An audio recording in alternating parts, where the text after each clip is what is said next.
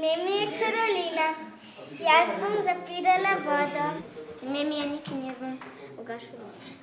Ime mi je Neja, jaz bom zbirala odpadni papir.